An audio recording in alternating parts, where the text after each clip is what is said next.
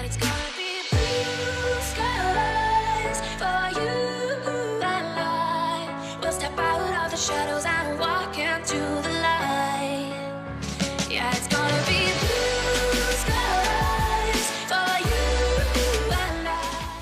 what is going on, guys? My name is Zalits, and today we're going to be talking about the Peppy Summoner from Final Fantasy IV, Rydia. Now, what does she do? She is a magic attacker, which instantly lets me know that she's going to be trying to take Kuja's spot for top mage in the game right now. Um, hopefully, she doesn't, but uh, I'm not because I'm not really sure what she actually does yet. We'll have to find out what she does when we get to that point. But um, anyways, hopefully she doesn't take Kuja's spot because I'm actually really hoping that uh, I can still use him. I hope that she's not absurdly strong like some of these other new characters that have been coming out. But anyways, let's go ahead and look at her chart here. She has a four star attack, which is really good, you know, for for an HP attacker. She's, she's really good. Um, her HP is abysmal at one star, which I've been noticing is kind of a trend that we've been getting lately with these attackers of just just having pitiful HP for some reason. Um, Sephiroth is, is a great example of that, just terrible HP. Uh, she has a two star defense, which is also very terrible. But she trades all that off for a maximum of five star max bravery, which is very very good. She also has a really high speed stat at four star, which is pretty good. A lot of these attackers that we've been getting have been pretty fast, so that's also that's also that's always a plus. Uh, her initial bravery is at a three star, which I don't think is really important for attackers, but hey, you know the more initial bravery, the faster they can get the damage out. So that's always a decent thing to have there. Now let's look at her stat table here. Her HP is at 3656, which is terrible. Her initial bravery 739, not too bad. Max bravery 1500, you know, as high as it could possibly be. Her attack is above average, and her defense is obviously very, very pitiful compared to some of our other characters. All right, now let's go ahead and jump on into her command abilities and see what she has going on over here. Her first ability here is called Flare. It is a one-hit bravery plus HP attack that grants small magical attack up for three turns, very similar to Kuja, who also buffs himself with buffs himself with small magical attack up for three turns, which is really good because that means that they won't have to rely on people or on characters like Ashe to buff them for that for those buffs. They can you know reliably bring another character and have them debuff or something like that to help them out help them out with more damage. Her second ability is called Summon Leviathan. It is a water one-hit uh, AOE bravery. I was about to say AOE instead of AOE. a one-hit AOE bravery attack with low action delay grants small max bravery up to the, to all party members for three turns. Now, I would say this would be good, but uh, because we have uh, characters like Sazh who have their 35 CP, it's not going to be that effective unless for some reason her weapons give her a, a massive boost to that. But I highly doubt that, so that's not going to be that important. But the uh, the AOE probably will be pretty strong, so we'll have to see when we uh, look at the trailer video. Uh, anyways, Beyond that, we have the Bravery Plus attack, which is a one-hit bravery attack, lasts as long as Water Enchantment is active, requires Flame Whip's passive condition after using Summon Leviathan. So I'm guessing after, I'm, I'm assuming that's like a 35 CP weapon. So after using the, the, the ability to Summon Leviathan, she'll get a Bravery Plus attack, which is also really good. Um, her next ability, which is her EX, I'm going to yes, is her, her EX, is called Summon Dragon, a five-hit AOE Bravery plus HP attack. Sounds good. Ignores defense, which is very good because you know this would be very useful against this against that stupid Lenna Dragon. we don't even have EXs yet, so can't even rely on that. Moderately raises bravery damage dealt against a single target. Uh, deals 100% HP damage to all enemies, which is not bad. Inflicts water resistance down to all enemies for four turns. Also good. That's that's like a Garnet type thing, except for uh, for all enemies. Requires Mystic Whip's passive and usable when the EX gauge is full, which is her EX weapon or her Mystic Whip is the EX weapon. So overall, she doesn't seem like she has that much going for her. But uh, let's see what she has in the passive abilities and see if she gets anything useful there. Uh, her first passive here is Flare Power Up. Slightly raises bravery damage dealt by Flare. Okay. Break Boost slightly raises max bravery for one turn after breaking an enemy. That's not bad. Break Bonus Up slightly raises break bonus earned after breaking an enemy. Of course, that goes hand in hand with this one. With the uh, Break Boost. Summon Leviathan Power Up. Of course, Charlotte is coming. Slightly raises bravery damage dealt by the Summon Leviathan. Buff Attack Up slightly raises attack while buffed. Always good. Flare Charge Up increases max uses of Flare uh, by one. Buff speed up, slightly raises speed while buffed. Not bad. Uh, Summon Leviathan charge uh, increases the max uses of Summon Leviathan by one. Okay. And Mist Survivor slightly raises initial bravery, max bravery, attack, defense, and speed if HP is max when the final battle starts. So she basically gets a, a boost across the board on basically all of her stats once the once the last battle starts, which is always going to be good. And I'm assuming she's going to have an artifact that boosts this as well. So this is probably going to be a very strong passive to have. Um, it's our artifact. I'm sorry, not passive artifact. These next few passives are obviously for her 60 enhancements. Her first passive here is buff boost and speed up. Slightly raises max bravery and speed while buffed. Alright, slightly, that's not too much. That she's she's gonna get a, a little bit there. Uh, flare extend increases the max uses of flare by two. When using flare, increases the number of bravery hits to four. Tremendously raises its potency. Bravery can overflow up to 120% max bravery and extends magical magical attack ups duration by one turn. Uh, I mean that's okay, I guess. I mean it's not amazing. I mean it can only overflow up to 120%, which is kind of where I'm just like, uh, it's, uh, it's whatever. I mean, it's okay. It's not, it's not, it's not the worst thing in the world. It's, it could be better, I think, in my opinion, but it's whatever. Buff attack and boost up slightly raises max bravery and moderately raises attack while buffed. Those two are always good stats to have. So she'll basically be getting a pretty decent amount of max bravery from her passives here. Um, and then her last ability, or her not ability, her last passive here is Summon Leviathan Extend. When using Le, uh, when using Summon Leviathan, raises bravery based on max bravery before the bravery hits. Okay, increases the number of bravery hits to four also just like the other ones, just like Flare, tremendously raises his potency and bravery can overflow up to 150% of max bravery. Slightly raises bra or max bravery ups potency, extends the duration of buffs granted by one turn, triggers an AoE HP attack after use. HP damage is divided equally amongst all enemies. When using bravery slash plus bravery attack plus increases the number of bravery hits to two, slightly raises potency, or slight, and also slightly raises his potency. So overall, it seems like definitely Summon Leviathan is going to be the stronger of the two, but we'll have to see when we look at the trailer video which one is actually the stronger one. I'm assuming that it's probably going to be uh, Summon Leviathan, but we'll have to see. Alright, let's go check out her gear now. So her first weapon here is the Mystic Whip, which we talked about earlier, which is her, which gives her the EX ability, uh, Summon Dragon. Her 35 CP is Flame Whip, increases the potency of Summon Leviathan, and moderately raises bravery damage when there is only one target, which is really good because that because you know now we don't have to worry about um, the damage being weaker because there's only one enemy, so that's going to be really good. Uh, increases the potency and extends the duration of max bravery up. I assume that they were going to give that. Um, whether or not it's still going to be uh, whether or not it's going to be stronger than Sazh's, I highly doubt, but we'll see. Grants water enchantment to all party members. That's going to be extremely powerful. that right there is going to be very powerful. We'll uh, and that that will probably be uh, probably play a huge part in defeating her EX mission. So we'll have to see what where that goes. Turns bravery attack to bravery attack plus while water enchantment is active. Water enchantment grants water elemental bravery attacks, of course. Her 15 CP is called the Chain Whip, increases the potency of Flare, increases the potency of magical attack up, and extends its duration. Of course, that's pretty that's pretty uh pretty good. So not that not amazing, but that's pretty good. That's not bad. It's about, about what I expected. Um, but this one, the 35 CP is definitely going to be where it's at. That, that water elemental um, enchantment is going to be very, very strong. Uh, Tiara, max bravery plus 220 and attack plus 72. she got the uh, the strong uh, she got the strong armor. She's already doing a little bit better. Oh man, I don't know. It's going to be really hard. Uh, to, to, to toss. It's going to be a, a, coin toss. I can't tell who's going to be stronger, her or, or Kuja. So uh, and then her final, her or, well, her 90 CP armor, the Mist Ring, HP plus 680 and defense plus 84. So that's gonna be those are amazing stats, but I guess that's just to boost her overall weakest her weakest stats, which are HP and defense. So it's not bad overall. Her weapons are pretty good. Now let's go check out her artifacts. Now let's see. Bravery Guard up. Raises defense power by 5% when bravery is over 50% of max bravery with one star and 10% with the two star version. I don't even know why they give this to us. They might as well just remove this. This, this thing sucks. Like, come on, who's going to take this? Mist Survivor up increases the effects of Mist Survivor by 2% and 5% with the two star version. Of course, this is the, uh, the, the increase in stats all across the board when she reaches the last battle. Um, so is going to be really good. This is obviously going to be number one priority for her.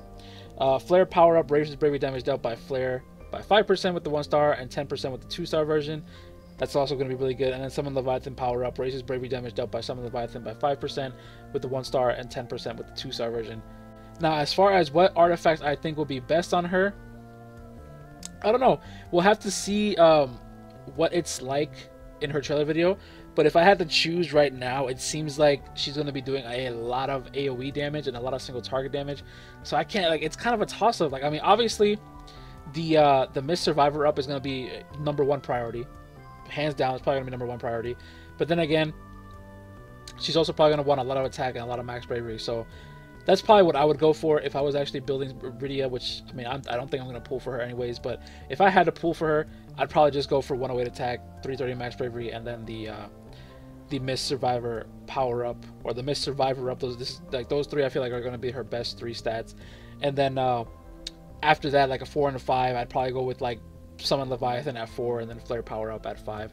Those aren't going to be like major. I mean, they'll be you know major damage increases, but uh, I don't think they'll be game as game changing as those other three stats. So let's go ahead and move on into the Gacha Simulator since it's actually working for this banner and we'll actually be able to look at that for the first time in like I don't know two characters or something like that so let's go ahead and head on over there and check that out here we are at the Gacha Simulator page now let's go ahead and look at the uh, spreadsheet here that was made by Chris Inger. Shout out dude. Thank you for always making these for me and helping me or well just setting these up in general for me so that it's uh so it looks fancier and looks cleaner and everything. So let me tell you a little bit about, about what I'm going to be doing here. For those of you who are new and don't really know how I do things here, first I'm going to be doing these draws, these 10 plus ones here, and then over here where you see draw attempts 1 through 10, basically for each attempt I'm going to be going in and doing draws until I get one of each of these characters' weapons. So basically I'll be going until I get one of Rydia's 15 and 35 CP, Yang, and Shadow as well. Unless there's something that's missing from the banner, but from what I know, uh, thanks to the notes that Chris left me here, it seems like Yang's was the only one that isn't uh, available on the banner itself. So, I mean, if we pull one, we'll pull one, but I'm not going to be looking, I'm not going to be drawing too many times to try and get it. If we don't get it before we get everybody else's, then I'm just to say that it's not there. After that, everything will become piled down here because he set, he set up the, uh, the spreadsheet to calculate everything. And then once all the information is put into these columns here, it'll get it'll you know take in all the data and spit it out and give us you know averages for everything and then over here I'll be putting in the uh, the amount of all the weapons that we got all together through each and every single attempt so it'll give us another draw average for however many attempts you decide to do so we'll go ahead and check that out um, but yeah let's uh, no better way to show you guys than to just do it so let's go ahead and start doing these draws and we'll go until we get you know just one of everything so let's go ahead and start this thing Alright, so our first draw here, let's see what we get. Uh, Vaughn 35 CP. Uh, okay, well, that's not good. Alright, on the second draw, we got a... So, see, since we got that Von 35 CP, I'm just going to chalk that up to an off banner. And then on the second draw, we got Shadow 15 CP and Rydia 35 CP. So what we're going to do is we're going to put a 2 there for Rydia and a Shadow 15 CP 2 as well. So and over here we also have to put in a 1 and a 1 there. The 2 represents how many draws it took to get those weapons. So that's pretty much what that means. Depending on which draw it was pulled on is how is how will uh how everything will be set up. So since we got Rydia's on the third draw, we'll put a 3 there. Now we'll put a 1 next to her 15 CP and we'll also put we'll change the shadow weapons to 2 since we got we've gotten 2 of his 15 CP so far. And now we'll just keep going on straight, you know, going down the list. All right, so we got Yang's 35 CP here. So that was, this is the fourth draw, I believe. Yes, the fourth draw. So we're going to put a 4 there. We're going to go over and put a 1 over here with his 30 in his 35 CP spots. And we also got two more shadow off, or two more shadow weapons, so we're going to put that up to 4 now. Now all we're looking for is Shadow 35 CP, so hopefully we can get that thing and uh, call this one a good pair of draws. Alright, so fifth draw, we got another Rydia 15 CP, so we'll just change that to a 2. We got another Yang 35 CP, so we'll change that to a 2 as well. Alright, and everything's looking pretty good actually, so the draw rates don't seem to be too bad. And on the sixth draw, we got Shadow 35 CP and another Rydia 15 CP, so that's not too bad. So let's go ahead and put a 6 here and Rydia as well. Alright, so we put a, we're going to put a 1 for Shadow and a Yes, another 15 for Rydia, so that's going to be a 3. Yeah, and that's pretty much what I do. So you see, I'm not gonna keep going for for Yanks because I, you know, I, I trust what Chris tells me, so I'm not even gonna go there. I'm probably just gonna put an NA there to you know signify that there's no answer, there's no uh, there's no draws there, there's, there's nothing we can get. So as you can see, as I go uh, down the list, it'll keep compiling these numbers and it'll keep creating averages for the draw chances. So it's gonna be pretty good. Um, this one seems like it's gonna be a pretty good banner, I think, but then again, never know. So I'll uh, I'll do this and I'll get back to you guys in just a minute. And we finished everything here. So before we move on into any of the results here, I just want to mention to you guys, uh, especially for those of you who are new, uh, the red numbers here are basically the worst of the bunches that we got for each draw attempt. Now, the reason like the reason why I say that these numbers aren't a bad thing is because the higher the number is, the better the average you're gonna get. It makes it more realistic because if you got a whole bunch of ones and ones and ones, it's just RNG. You know what I mean? I mean, regardless of what it is, RNG, RNG is RNG. But the bigger numbers that you get to throw in, uh, like you know, into the equation, you know, the the bigger the deviation from those smaller numbers, the you know, the, just the more precise numbers you're gonna get when you're doing these. Of course, you have characters like Shadow who have like literally the best draw rates ever, which means, you know, be careful, guys. You're about to get that Rasen Shuriken when you do these draws, if you choose to draw for Rydia. Uh, oh my god. sorry. Oh my god. That I'm sorry, that's just the draw video that I made. It's it's shadow just popped up. uh, but anyways, uh, let's just go ahead and look at these uh, these draw rates here. So overall for Rydia's 15 CP, we got a total of 39 uh, for total draws there, 56 for 35 CP. So obviously her 35 CP was a little bit worse to get. Uh, nothing for Yang because there was, you know, he just didn't show up. The the rando 35 CPs, I always assume are just the are supposed to be, you know, those weapons like the 15 CP for Yang, but they just end up getting messed up somehow. I don't know how that works, but anyways, uh, for for Yang's 35 CP, we got 59, which is very similar to Rydia's. For Shadow's 15 CP, we had 17 total draws for this, which is really good. Which again, like I said, watch out for that Rasen Shuriken because it's about to smack everybody who pulls on this. But uh, the 35 CP, we had about 65 total for this, and then uh, so basically the calculator here will tell us that uh, overall to get at least one, it'll take you about four pulls to get one of uh, 15 CPs, and on average about six for the 35 CP. For Yang, it'll also be about six, and then for Shadow, it'll be about two, and then seven for Shadow's 35 CP, which overall doesn't seem that bad to me. You know what I mean? Like 35,000 gems, you know, tossing some tickets here and there, and I mean, it doesn't sound like a bad deal to me. So the banner seems to be pretty good. And then, of course, the overall drawn weapons aren't too bad. You know, we see here for Rydia's 15 CP, you have about a 38% chance there. A little bit closer to 38.5, but it's still to about 38% chance. For 35 CP, she has a 43.62% chance of obtaining at least one overall, overall all these attempts. And then Yang's 35 CP had about a 31% chance, which is it's, it's okay. It's a little bit less than both of Rydia's, but it's okay. For Shadow, you had almost you basically are guaranteed to get Rasen Shuriken. So, so I'm just telling you guys, just prepare for that. Prepare for that Rasen Shuriken because it's about to smack everybody that pulls on this. Um, for Shadow 35 CP, it was about a 33% chance, which is not bad. And of course, the off banner seems to be the best that it's been in a lot of these simulators. So 23 about 23% with that, and that's like the lowest I've ever seen it compared to everything else. So that's going to be really good. So now let's go ahead and put this to the test. Let's go ahead and do the simulator one more time, and we'll uh, we'll test this out, and we'll see if these averages are actually you know pretty correct or not. So we're looking for you know about seven draws altogether to get everything. So let's just uh, aim for aim for seven draws, and let's see if we can get you know all the stuff that we want. Okay, so right off the bat, we got two Yang 35 CPs, which is, you know, really good. All right, so two, we already got Yangs. On the second draw, we got Rydia's 15 CP. Okay, already better than average. Uh, on the third draw, we got Shadow's 15 CP. We got that Rasen Shuriken right there, and two more of, of Yang's 35 CPs, which is actually, if we if this was actual an actual draw, like this would be uh, pretty pretty good. This would be amazing actually. Um, on the fourth draw, we see Shadow 35 CP coming out. Still looking for Rydia's. You know, we still have about four draws left to go before we uh before the average there is uh messed up. But uh Fifth draw, we got a off banner 15 CP, not good.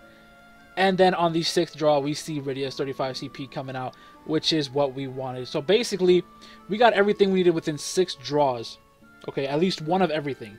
So that means that these averages are actually very, very good. Like this is, it's about, it's about what we were expecting to have. So, of course, I mean, will the banner on global be as good as this?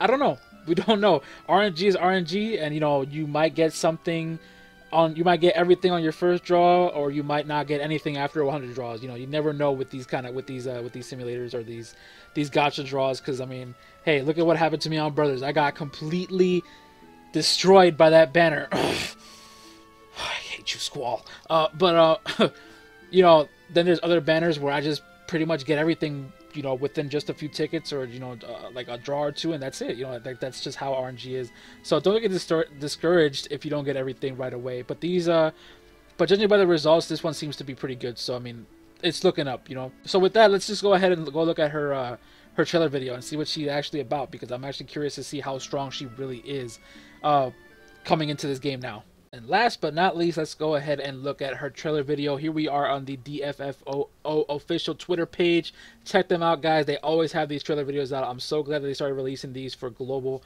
But um, let's go ahead and check this out. I do have the volume lowered so that it's not blaring in our ears. So now let's go ahead and just look at what she's about. Oh. All right, let's see. Let's see.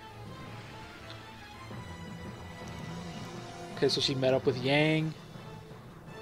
Edge, and Sarah. But if you've grown up, does that mean you're from the future? Yeah, because you know Sarah, she's uh, future Sarah. After the incident, I ended up in a place called something. I didn't get to see it. Or Feymarch. Time passes more quickly in Feymarch. Okay, so let's see. Flare. Okay, that wasn't too. That wasn't that strong. Okay. Summon Leviathan. Okay, so she can cap out pretty much with this. Okay, summon Leviathan. What were they trying to highlight there? I like how they, I like how they had the summon Levi uh, the Leviathan summon there for that. Um, initial impression, uh, no. Is she stronger than Kuja? Uh, no. but uh, let's let's just go ahead and re-go through this. Um, maybe I'm missing something. I just I don't think that she's that strong. Like okay, so here's Flare again. Okay, MLB with 35 CP, 3763 just right off the rip. No buffs, no nothing. That's I mean with Sazh, will that be strong? No, that still won't be doing a lot. It'll probably be going up to like maybe, maybe and like I mean, maybe with buffs, it'll probably go. I want to say it'll probably be somewhere in the ballpark of around eight to nine k damage with that ability. But who knows? I could be wrong, but it doesn't seem to be that strong. And then summon Leviathan. Okay, that's where she's basically going to be capping all her stuff. If, if there's AOE on single target, it's pretty weak. It's pretty bad. It's like really really bad. Yeah. Yeah, I don't. I just. I don't see her being. She's nowhere near Kuja's level. Kuja is still gonna be god tier uh, mage. Like she's probably. If I had to put her like just from this trailer video, if I had to put her somewhere, I would say that she's literally probably like an A tier. That's that's how bad I, I the initial impression of her is. But uh, we won't really know until we actually play the game and get her, and we'll get you know and get the uh, the buffs, and I get to see people using her in the co-op and whatnot. So, but if I in the, off of initial impressions, A tier at best. Like that's literally just how not good she seems in this trailer. Um, I'm definitely looking forward to seeing if uh, Sazh, Shadow, and Yang are going to be any better from this. So hopefully they are. Hopefully they they work a bit better than she does. But uh, we'll have to we'll have to wait and see. All right, that's gonna do it here for Rydia's informational video. Overall, she doesn't seem like she'll be too strong of a character, and she'll probably fall flat right after she's released. Maybe with some better team setups than what they showed in the trailer, she'll be able to perform better. But I doubt that because the only other person that she could realistically play with potentially is Garnet because Sazh is going to end up being the cornerstone of the team anyways because he's the cornerstone of 95% of the teams anyways Although I do think that the water enchantment will come in clutch and would have against Lenna's stupid dragon. But we won't talk about those dark times anymore. Anyway, next up, I'll most likely be doing Cid's EX mission as well as uploading my playthrough for Lenna's story event because I want it documented because I never got the chance to upload it due to some huge inconvenience. Dragon.